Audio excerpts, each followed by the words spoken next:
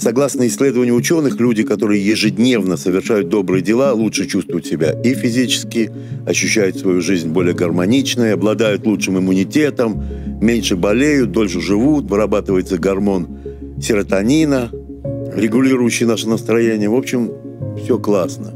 Мы так как бы зазываем делать добрые дела. Вот это тебе будет хорошо физически. А почему мы не зазываем делать добрые дела, что вот другому будет хорошо, другой будет счастлив, тепло ему будет замечательно. Вот почему вот нельзя дойти до такого уровня? Или можно? Эм, да нет, естественным путем это нельзя. Надо осторожно. Сверхъестественным можно. Сверх.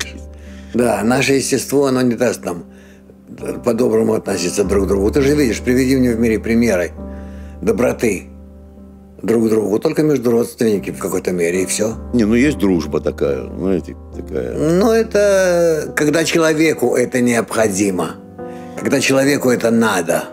Вот здесь проблема. Я добр к другим, потому что им это надо или потому что мне это надо. Вот именно. Если мне это надо, то это не считается, что это я делаю добро. Я что-то делаю, потому что мне это надо. А на самом деле... Настоящая доброта. Настоящая доброта, она должна быть против своей воли. Против своего желания. Насилие. Я должен преодолеть себя и делать доброе другому. Тогда это действительно доброта. То есть я ни секунды не думаю о том, что это мне хорошо для здоровья моего, для моего настроения. Я ни секунды об этом не думаю. Если я это... думаю, что мне от этого ничего не будет, а просто я хочу сделать такой жесть доброй воли другому. Это высший пилотаж называется. А иначе это не доброта. А иначе просто у меня чего-то там давит, и я хочу избавиться от внутреннего давления. И мне лучше, когда я делаю другому добрый. Да. Но вот это мне лучше, оно стоит впереди. Да? Конечно. Это является причиной. Мы когда-нибудь дойдем вот до этого идеального определения Нет, доброты? никогда не дойдем со своей природой. А, никогда даже? Никогда. Нам надо будет подняться выше нашей природы, когда мы убедимся в том, что мы так просто дольше не можем существовать. Мы съедаем друг друга, у нас вдруг начнут вырастать клыки. Нам раскроется, что мы не делаем добро? Раскроется это вообще? Не только. Нам раскроется, что мы делаем только зло друг другу. Именно в тех действиях, которые нам казались раньше добром. Это раскроется человеку, да? Да.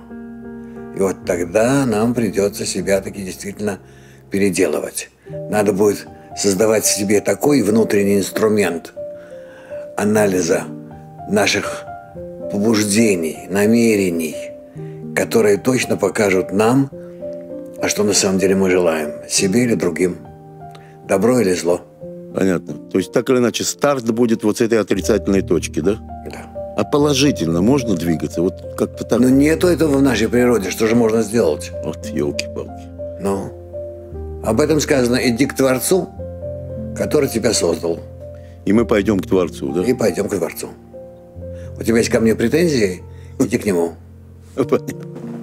И тогда мы начнем делать добрые дела, когда к нему пойдем, да?